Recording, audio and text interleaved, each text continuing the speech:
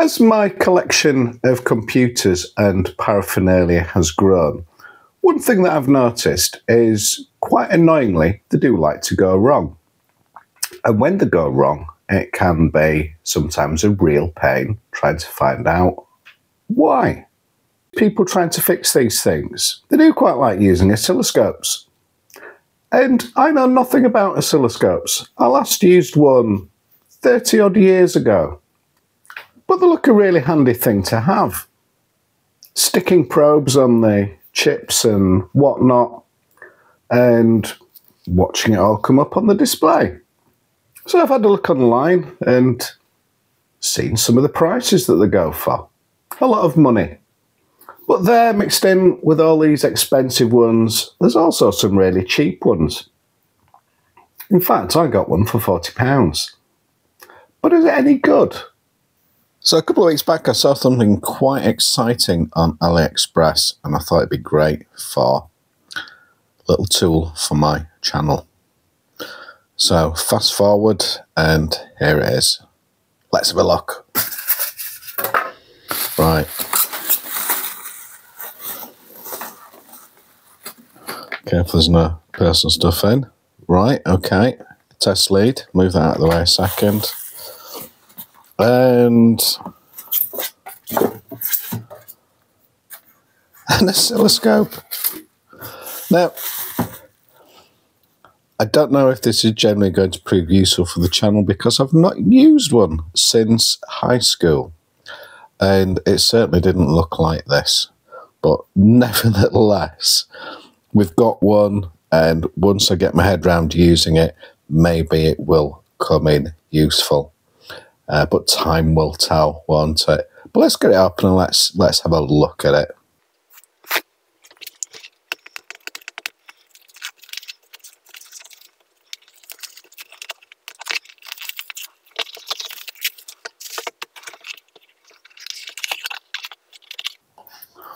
Well, for a really cheap oscilloscope, it certainly comes well packaged. No idea what's in there.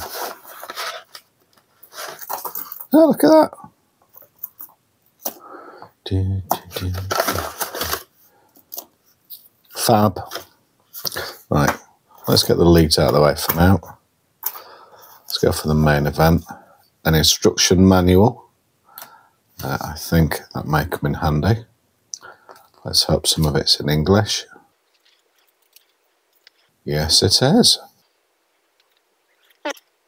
I'll look at that later some warnings, okay, and the scope itself. What's this? Okay.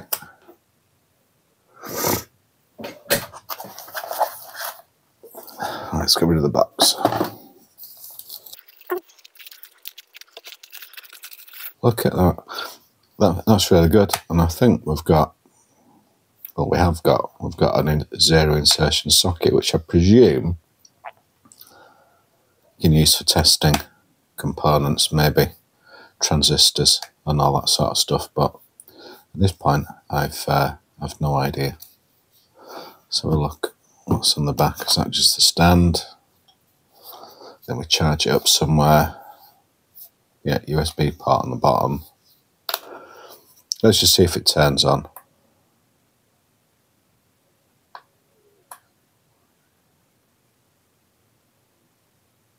Okay. Is that going to be the power button? That's the power button. Oscilloscope. What have we got? Right, okay. So I'm guessing that's a signal generator. Tools. I don't think I'll mess with that for now. Okay, so that looks like it's some form of component tester. We're back to oscilloscope. How awesome! Let's just hit OK.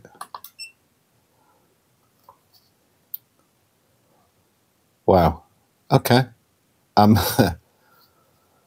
I'm really quite chuffed with that. I don't know if it's if it's going to be any good, but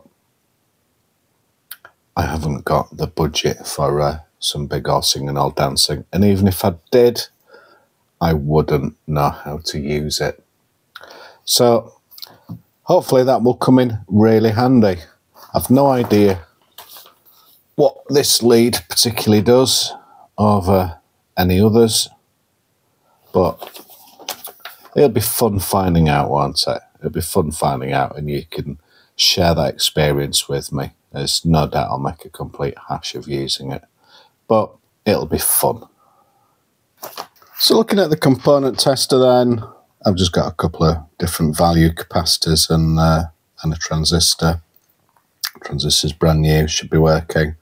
But if we bob it in, uh, let's get a grip of it. Let's just go okay that. Yay, we've got a transistor. Fabulous. Okay. Let's try one of the capacitors. This is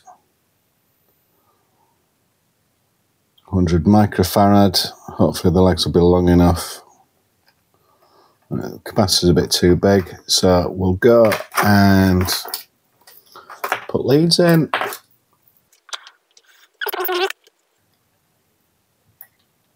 Let's got the leads. Right.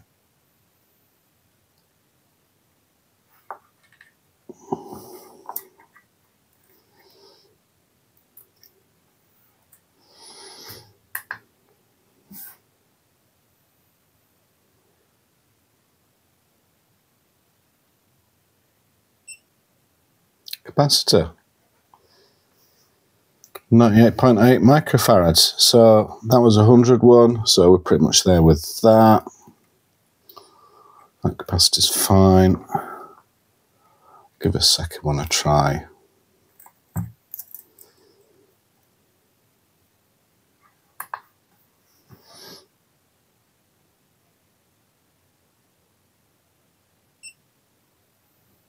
Yep. 22.8 microfarads. It's a 22 microfarad unit.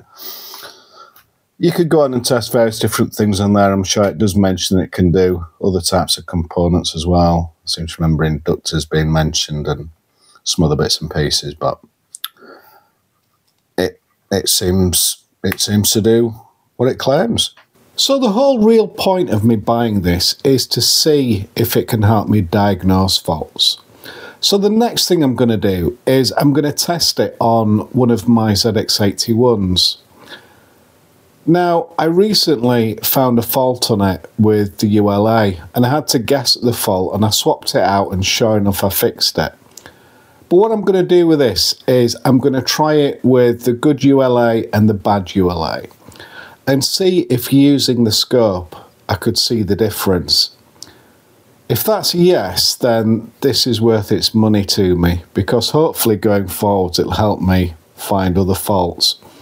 If it's a no, then I may have wasted it.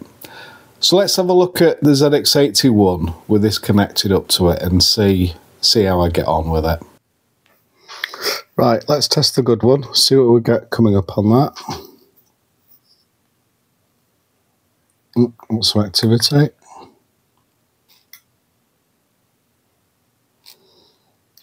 Pin two.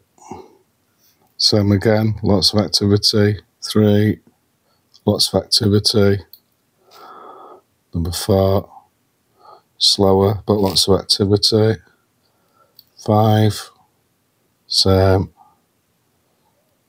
activity. It's high, high.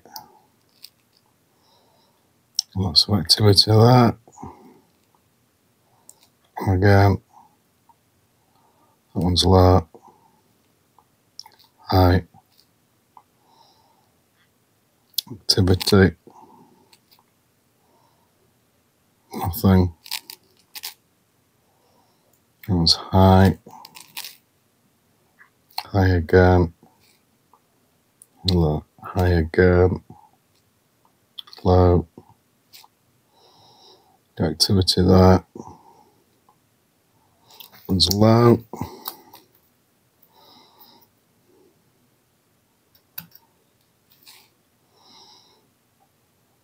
To rotate. nothing, activity, activity, high, activity, high, activity, high, activity, high, activity, high, low, high, low, activity, activity, activity, and this one should just be high because that's a supply, which it is. Okay, so that's that's what it looks like on a good ULA. Now, with it being a good ULA, I've not cross-referenced it. There, there's plenty of documentation online on what you should be expecting to see there, but I've not gone to that trouble because I know that it's working. So from that, let's swap this out and put a bad one in. Let's put this one in, which uh, which we know is uh, is defective. So here I've swapped around the ULA. There's now the faulty one in there. Got the power into it. Let's let's give it a go and see what's coming back on the pins. Pin one, nothing. Two, nothing. Three, nothing. Four, it's high five, low, low, low, high,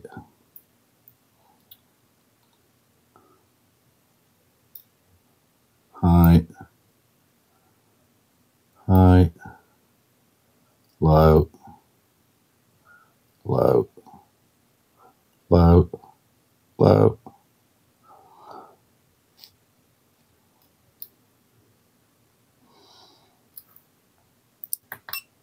Let's have a look at that. No, nothing. Low.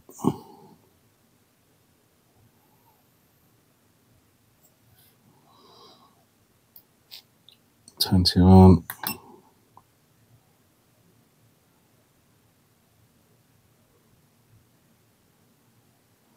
Nothing. That's my activity No.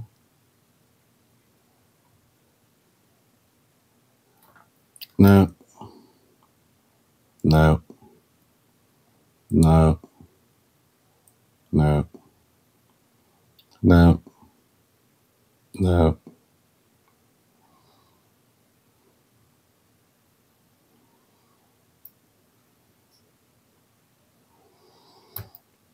A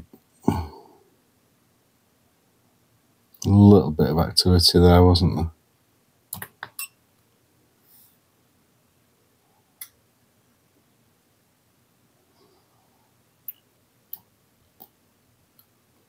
low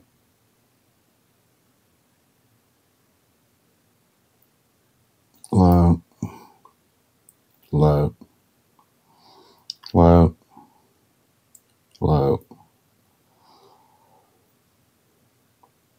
I think it's quite safe to say from looking at these results compared to the good one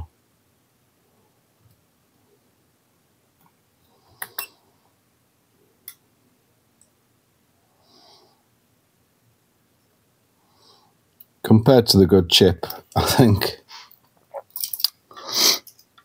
it's quite unequivocally faulty. There may be other faults, of course, where uh, it's it's less obvious than that. But looking through those results, uh, they're a world apart from from what the good ones were. So let's summarise this little thing then. So for forty pounds, I've got myself a little oscilloscope and a component tester. The component tester seems to do what it needs to do, working fine. My initial problems that I had with the machine was due to my lack of knowledge as to how to use it. Should have read the instructions, perhaps that would certainly have helped. But I can also say that the customer service was excellent and they were back with me within 24 hours with, with a response and a video to help put me right, which was great. What about the oscilloscope then? Well, in this particular example, there is no doubt that the comparison between the broken one and the good one, it was obvious it was like night and day. You could quite easily see that those trace that the that those uh, that the ULA wasn't functioning as uh, as it should do. In fact, it was barely functioning at all. Some faults would undoubtedly benefit from a better scope to identify them. I don't think that's going to identify something that's borderline or where it's not quite as, as obvious as, as what this one was. But if I had this scope, would I have been more confident in my original diagnosis where I thought the ULA was faulty? 100% so. It would have saved me quite a bit of time and I wouldn't have needed to guess it'd have been quite obvious for me. So, in that respect, do I think that £40 for one of these for doing some basic fault finding is worthwhile? Yes, I do. I think it's a I think it's a great little device, and it'll be something that I'll be putting to use on a regular basis to assist me. Your mileage may differ, of course, but that's my thoughts on it. So thank you for watching. I hope you enjoyed the video. I hope you got something out of it.